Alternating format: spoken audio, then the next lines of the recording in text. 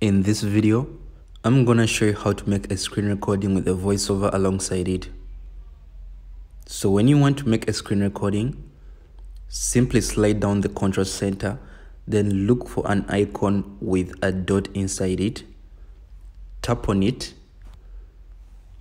You'll have a variety of locations to choose where to have and share the screen recording.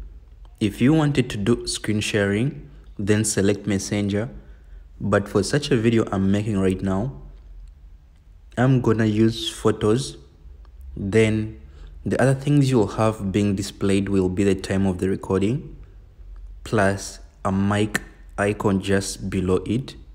So if you wanted to turn on the mic it would look like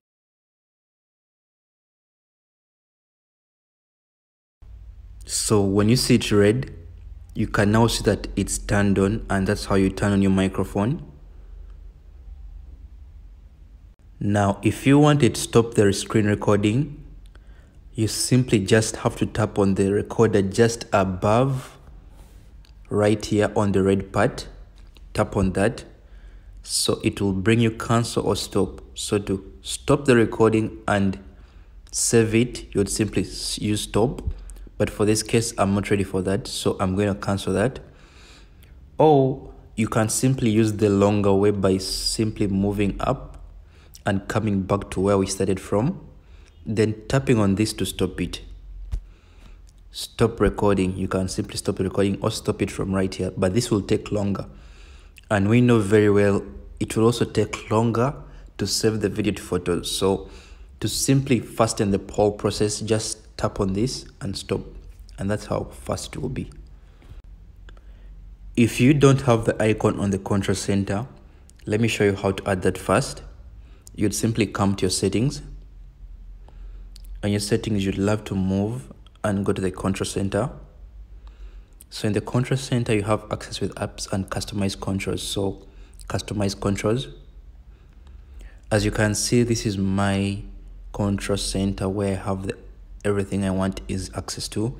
So you can simply see that I have the screen recording. But if you didn't have the screen recording, this is how it's going to look.